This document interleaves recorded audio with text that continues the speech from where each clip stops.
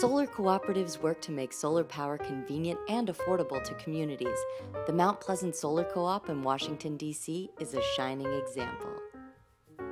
Our Mount Pleasant group is about 350 families. We solarized our home in 2009 with the first group of 45 solaristas in Mount Pleasant. And we're saving well over $1,000 per year uh, as a result of that. So our bill is about 40% lower. It's a very practical solution to the everyday challenge of paying your energy bills. Effectively like a solar library.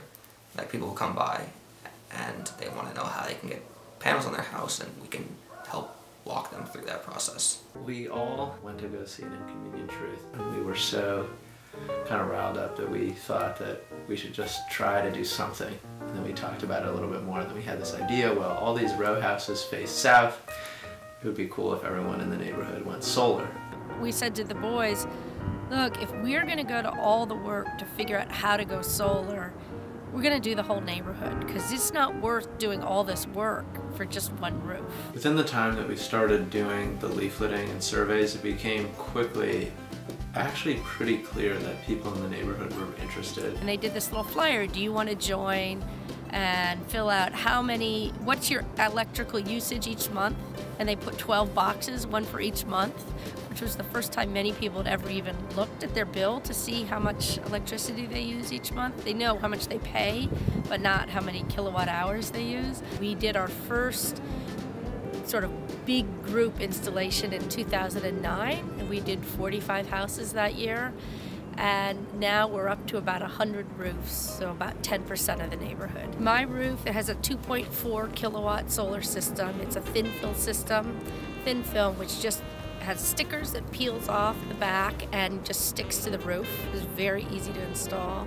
First thing you need to do is understand your local solar market. So that means whether there's companies, whether there's incentives, whether there's regulation. There's a website called DSIRE, which is the Database of State Incentives for Renewable Energy.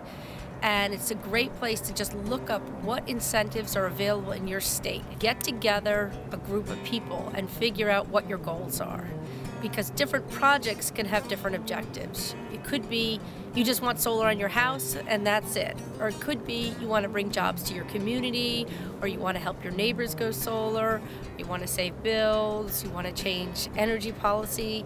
So there's a lot of different reasons to go solar and a lot of different ways to go solar. So it's really important to figure out who you are and who your group is and what your your goals are and your values are. solar in that way is very special that it's very individualistic and it, it encourages people to sort of engage a little bit more around them because um, they have a bigger incentive too. So the first lesson that we learned is that the most important thing for us to be successful and to grow and, and to help other people go solar was we had to be able to lobby uh, and get legislation passed that would continue in, to enable people to go solar. The first law that we passed basically set up a pool of money that would be charged. Everyone that pays a Pepco bill in DC would be charged a little bit more and that would sort of create a pool of money where you could then apply for a grant for a solar project and it would cover a certain amount of whatever watt per like watt you've installed.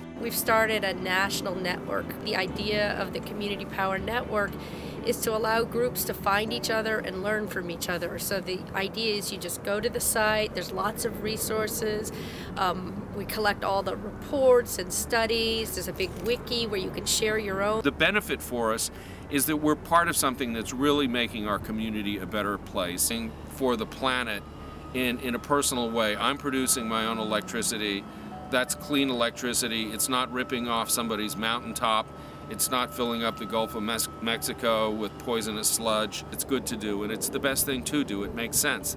The technology works, you save the money, there's absolutely no reason not to do it.